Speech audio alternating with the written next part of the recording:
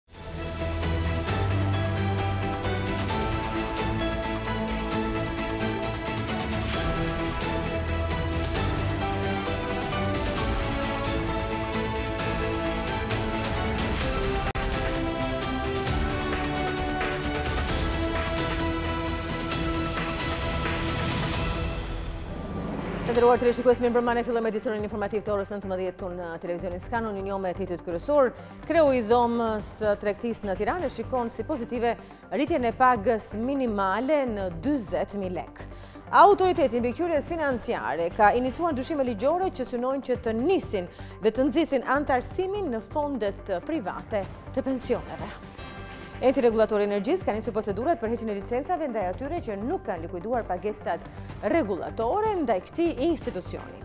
Grupet e interesit kanë rikthyer kërkesën për rritjen e kapacitetit të lejuar për t'u instaluar në vetëprodhimin e energjisë. Dhe në fund, pasuritë e nëntokës së Shqipërisë vlejnë në rreth 1.8 miliard euro në vit, vetëm si eksport tregojnë shifra zyrtare të analizuara edhe nga Scan Intel. Për këto dhe të tjera na ndiqni menjëherë pas siglës.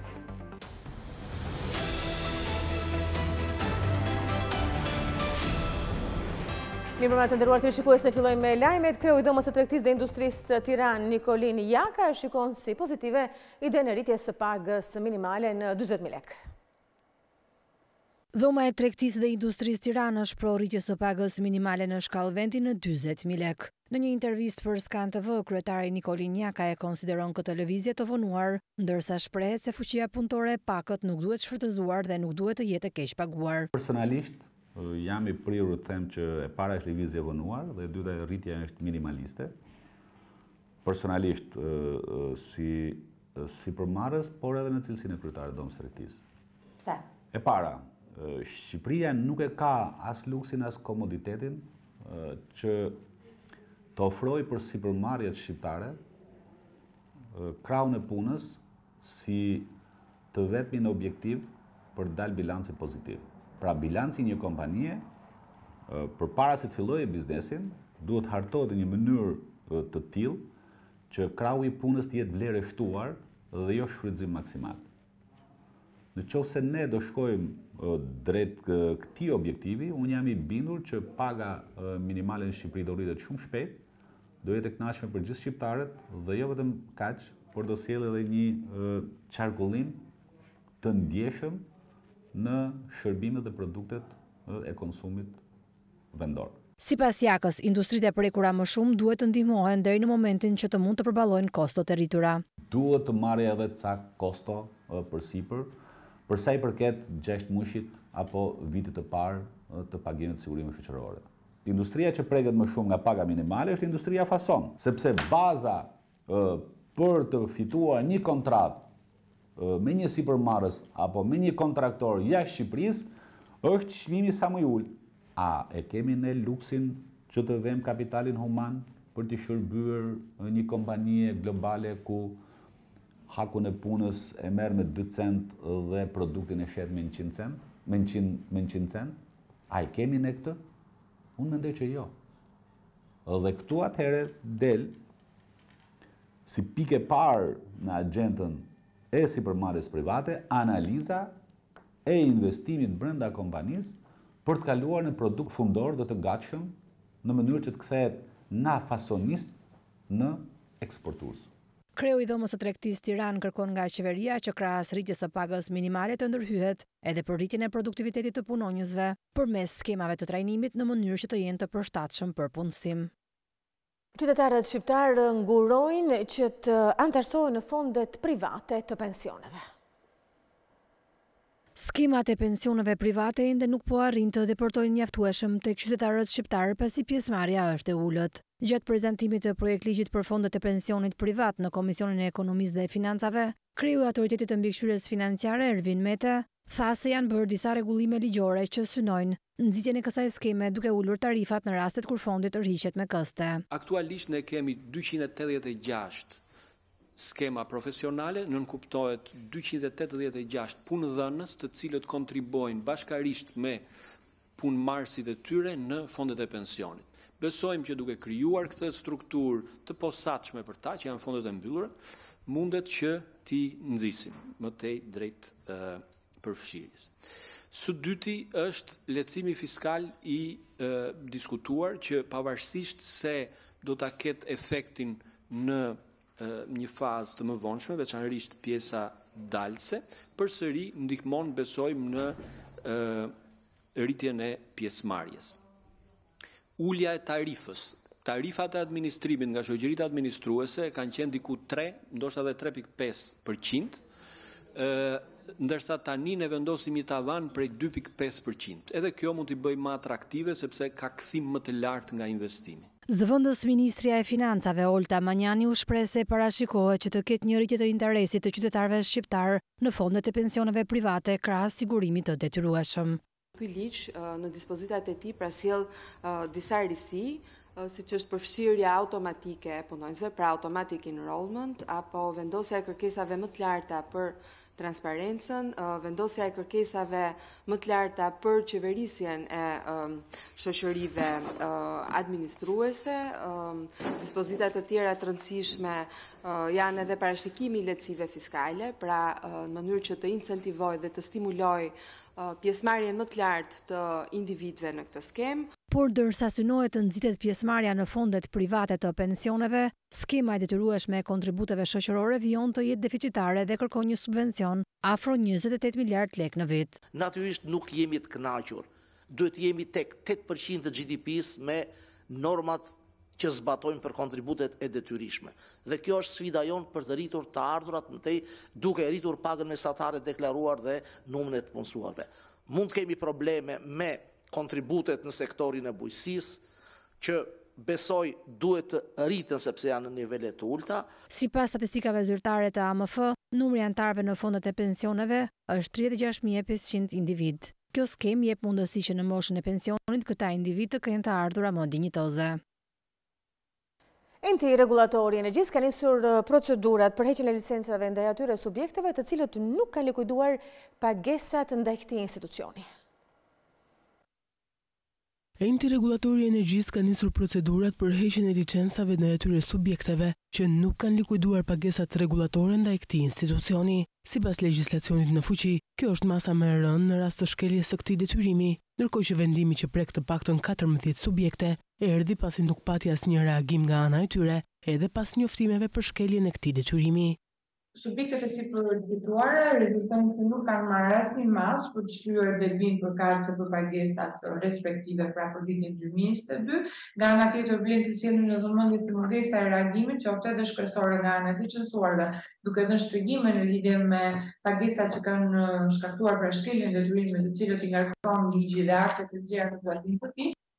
Anëtarët e Bordit të ERE-s e konsideruan këtë vendim si të drejtë, duke marrë në konsideratë se kjo nuk është hera e parë që këto subjekte shkelin detyrimin. U bë një punë e përsëritur herë pas here, që po të njëjtët vazhdojnë dhe përsërisin që nuk paguajnë. Atëherë edhe kjo iniciativë për të hequr licencën, normal kjo lloj procedure për heqje licence do të bënte edhe kufizimin, ndoshta, të atyre subjekteve që kanë marrë licenca dhe nuk i kanë dhe nuk janë operim, nuk e kanë zbatuar këtë licencë. Sipas të dhënave zyrtare, për vitin dy mijë e njëzet e dy ERE synon të mbledhë rreth dyqind e tetë milionë lekë nga pagesat rregullatore nga subjektet e licencuar në sektorin e energjisë elektrike dhe gazit natyror. Në total numërohen treqind e shtatë të licencuar, të cilët janë të detyruar të bëjnë pagesat rregullatore. Në diskutimin e ligjit të ri për vetëprodhimin e energjisë në komisionet parlamentare, prodhuesit thonë se nuk ekziston asnjë studim që të argumentojë problemet apo kërkesat që ngre OSHEE në lidhje me këtë ligj të ri.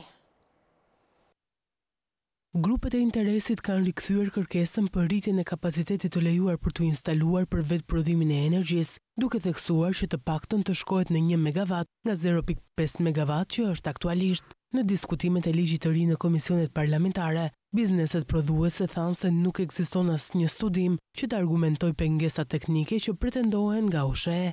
Kjo është kërkesa jonë për të cilën vazhdojmë të insistojmë. Operatorët e sistemit të shpërndarjes së energjisë që përgjithësisht e kanë kundërshtuar nuk kanë patur asnjë studim për këtë problem. dhe mendojmë se nuk është treguar ndjeshmëria e mjaftueshme ndaj problemeve të ndërmarrjeve prodhuese në këtë vend. Por, teksa prej kohësh institucionet shtetërore argumentojnë këtë kufizim me problemet që mund të shkaktohen në rrjet, kreu i Komisionit të Veprimtarive Prodhuese Arben Pëllumbi nuk përjashtoi që kjo pengesë të jetë për shkak të interesave të OSHEE-së për të mos lejuar bizneset të vetëprodhojnë energjinë. Mbase ai operatori nuk do që ju t'i ikni nga tregu. Nuk do që ju t'i ikni si konsumator nga tregu, ka interesat e veta. Këtu flasim për interesa.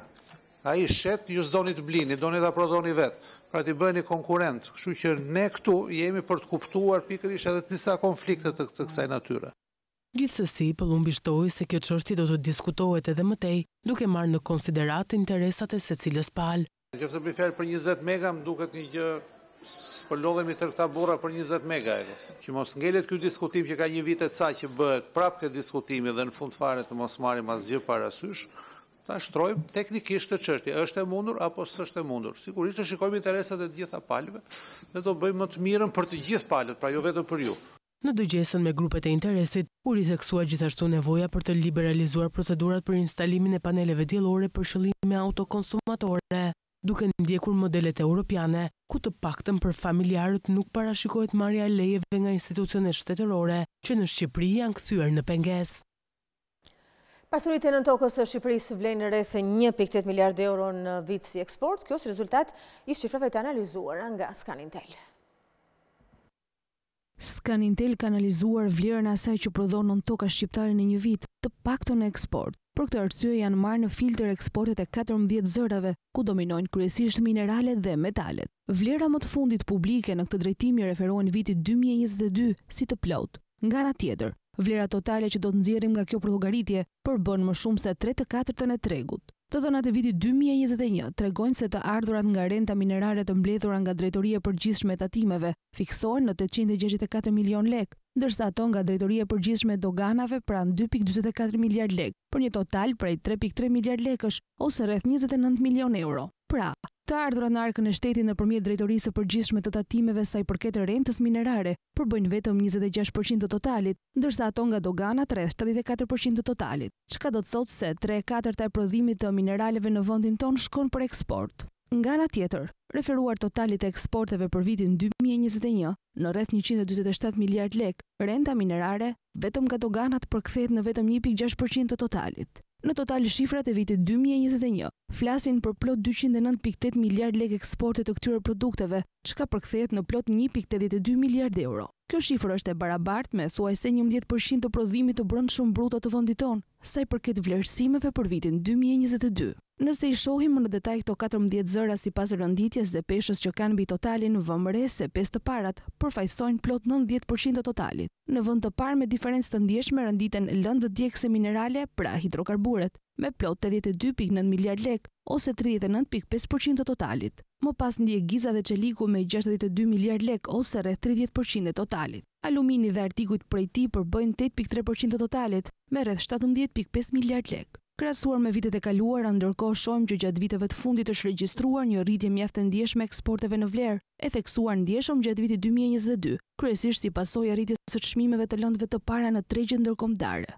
ndërkohë që në vitin dy mijë e njëzet e dy eksportet e këtyre produkteve, kryesisht ato të nëntokës, kapin vlerën e dyqind e nëntë miliardë lekëve, në vitin dy mijë e njëzet e një fiksoheshin pranë një pikë pesë miliardë lekëve, pra një rritje me dyzet e dy për qind. Krahasuar me vitin dy mijë e njëzet, rritja në vlerë absolute fiksohet me plot shtatëqind milionë euro, sinjalizojnë shifrat zyrtare nga Instituti i Statistikave. Në rast se këtë krahasim do ta bënim me vitin dy mijë e pesë, si viti i fundit me të dhëna publike në këtë drejtim, shohim se diferenca është drastike. Asokohe vlera e eksporteve të produkteve të nëntokës fiksohej në diçka më shumë se njëqind milionë euro, pra kemi të bëjmë me një pikë shtatë miliardë euro më shumë.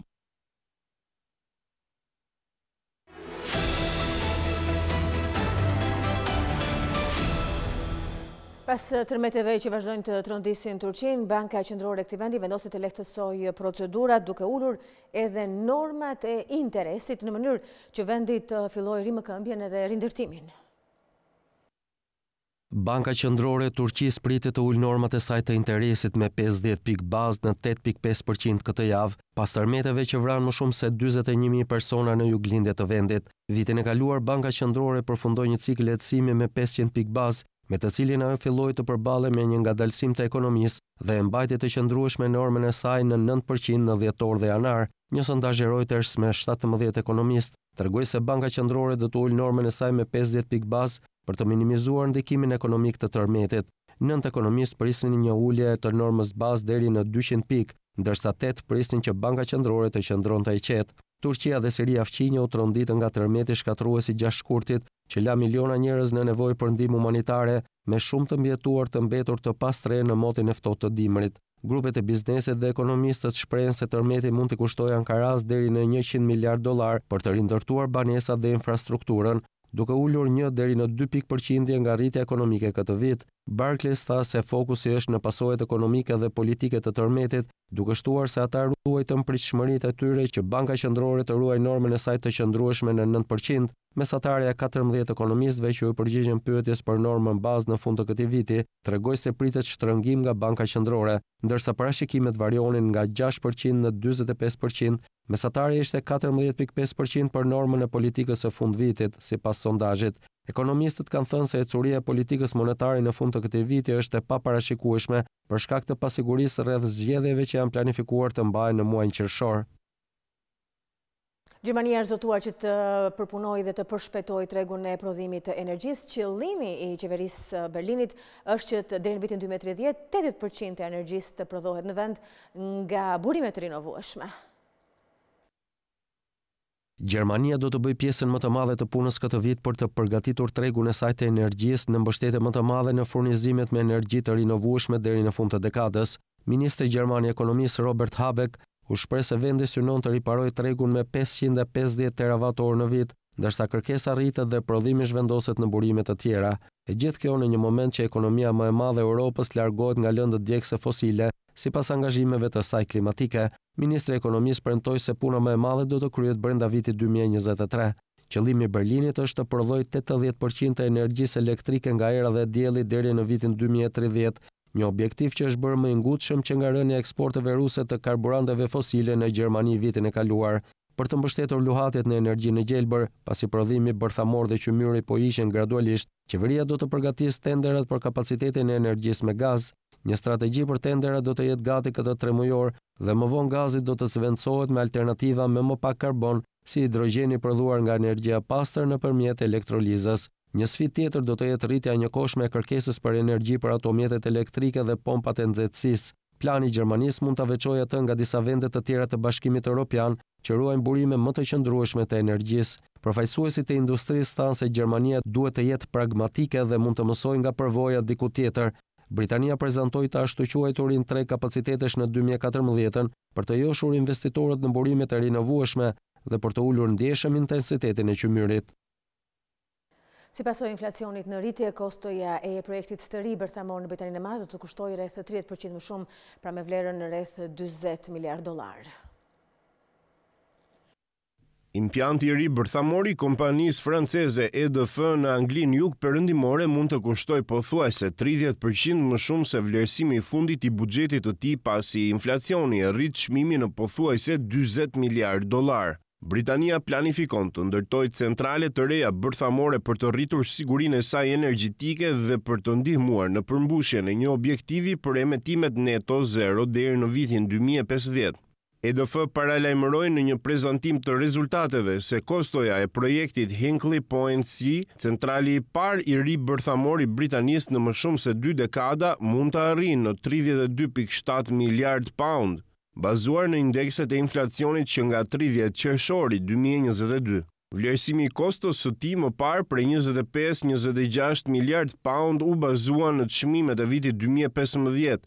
EDF po ndërton fabrikën me CGN-në e Kinës e cila ka tridhjetë e tre pikë pesë për qind të aksioneve në projekt. Sipas marrëveshjes së kompanive, kostot më të larta nënkuptojnë se EDF mund t'i kërkojë CGN-së të vendosë më shumë kapital te Hinkley, por EDF tha se probabiliteti që CGN të mos financojë projektin pasi të ketë arritur kufirin e saj të kapitalit është i lartë. Kjo do të thotë se EDF do të duhet të ndërhyjë për të përballuar kostot shtesë në vend të CGN-së.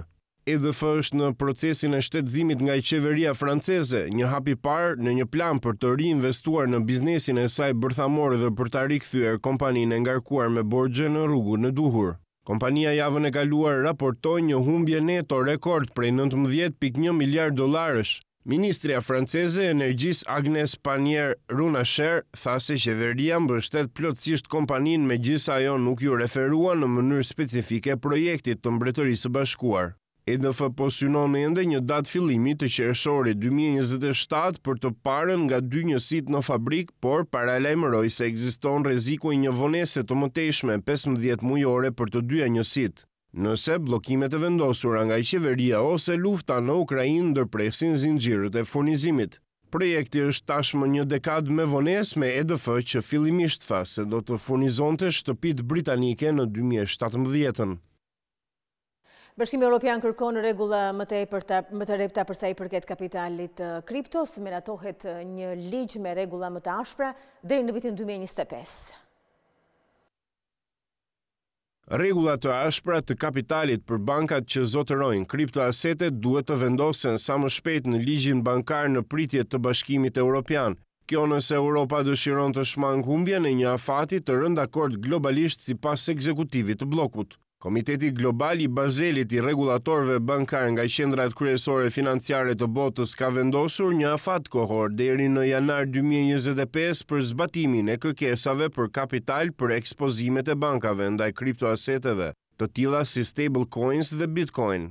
Në një dokument të verifikuar nga agjencia e lajmeve Reuters, Komisioni Europian shprehet se për momentin bankat kanë ekspozime shumë të ulëta ndaj kriptoaseteve dhe vetëm një përfshirje të kufizuar në ofrimin e shërbimeve të lidhura me kriptoasetet. Bankat kanë shprehur interes për tregtimin e kriptoaseteve në emër të klientëve të tyre dhe për të ofruar shërbime të lidhura me to. Standardet e Bazelit zbatohen në BE me një ligj dhe një vonesë mund të nënkuptojë që bankat duhet të presin më gjatë për të hyrë në kriptomarket pasi rregullat e veçanta të BE-së për tregtimin e kriptoaseteve hyjnë në fuqi në dy mijë e njëzet e katër.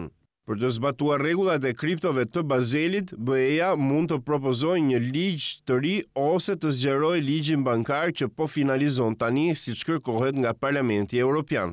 Parlamenti dhe shtetet e BE-së ndajnë të njëjtin qëndrim për ligjin bankar dhe do të fillojnë të negociojnë tekstin përfundimtar i cili mund të përfshijë dispozitat për kriptoasetet. Kjo do t'u jepte bankave qartësi mbi kërkesat e tyre për ekspozimet ndaj aktiveve kripto dhe do të siguronte që rreziqet që rrjedhin nga këto të adresohen në mënyrë adekuate, thuhet në dokumentin e Komisionit Europian. Një projektligj i veçantë nuk do të dalë deri në fund të vitit dy mijë e njëzet e tre. Parlamenti shkon në votime në mesin e vitit dy mijë e njëzet e katër, duke e bërë më të vështirë miratimin e një ligji të ri në kohë për vitin dy mijë e njëzet e pesë. Dokumenti i Komisionit sugjeron gjithashtu që Autoriteti Bankar Europian i bllokut, EBA, mund të koordinohet me mbikëqyrësin e letrave me vlerë të BE-së, ESMA, për të siguruar që kriptoasetet janë kategorizuar siç duhet. Bazel ka vendosur tarifa ndëshkuese për kapitalin për kriptovalutat e pambështetura si Bitcoin dhe tarifa më pak konservatore për monedhat e qëndrueshme. Mund të jetë gjithashtu e dobishme të mandatohet EBA në bashkëpunim me ESMA për të hartuar një listë se si të kategorizohen kriptoasetet ekzistuese. Mëngjesi tipik britanik është njëzet e dy për qind më i shtrenjtë tani sesa ka qenë një vit më parë, kjo edhe për shkak të rritjes së vazhdueshme të çmimeve të produkteve të lëndës së parë. Qumështi, për shembull, ka pësuar dhe rritjen më të madhe prej pesëdhjetë për qind. Çmimi i një vakti mëngjesi në Angli është tashmë në nivel rekord duke dalë jashtë kontrollit pavarësisht ngadalësimit të lehtë të inflacionit. Kostoja mesatare e përbërësve të nevojshëm për të përgatitur një mëngjes u rrit më shumë se njëzet e dy për qind krahasuar me një vit më parë. Indeksi i vaktit të mëngjesit përmbledh të dhëna nga Zyra e Statistikave të Britanisë duke analizuar çmimet e sallamit, proshutës, vezëve bukës, gjalpit, domateve, kërpudhave, qumështit, çajit dhe kafesë. Siç u theksua nuk ekziston mundësia e qetësisë për familjet që kanë probleme me çmimet e larta të ushqimeve. Ekonomistët në vend shprehen se kriza e kostos së jetesës ekziston me konsumatorët që shpenzojnë më shumë për gjërat thelbësore. Kjo sipas tyre është një lajm i keq për industritë më të gjera të shitjes me pakicë dhe ato argëtuese. Qumështi regjistroi rritjen më të madhe të çmimit duke u rritur me pesëdhjetë për qind nga një vit më parë. Pasuan vezët dhe gjalpi ndërsa kafeja dhe çaji patën gjithashtu rritje të mëdha. Supermarketet janë nën presion pasi balancojnë kostot më të larta me nevojën për të tërhequr klientët. Tensionet midis shitësve me pakicë dhe furnitorëve janë gjithashtu të larta në Mbretërinë e Bashkuar dhe blerësit po zgjedhin më shumë produkte të markave jo shumë të njohura për të kursyer para. Edhe supermarketet franceze janë nën presionin e inflacionit. Ministri i Financave, Bruno Le Maire, do të takohet me tregtarët e vendit për të diskutuar mënyrat për të ulur çmimet e mallrave bazë në dyqanet e tyre. Italia po përballet sërish me problemet e shkaktuara nga thatësira për shkak të mungesës së reshjeve të borës në Alpe, kështu në Venecia për shembull, pasi janë tharë kanalet, është bërë e pamundur të lundrojnë gondolat apo taksitë e ujit. Javët e motit të thatë të dimrit kanë shtuar shqetësimet se Italia mund të përballet me një thatësirë tjetër pas situatës së krijuar verën e kaluar me Alpet që kanë regjistruar më pak se gjysmën e sasisë normale të reshjeve të borës sipas shkencëtarëve dhe grupeve mjedisore. Paralajmërimi vjen pasi Venecia, ku përmbytjet janë zakonisht shqetësimi kryesor, përballet me baticë jashtëzakonisht të ulët që po e bën të pamundur për gondolat Taksitë e ujit dhe ambulancat të lundrojnë në disa nga kanalet e famshme.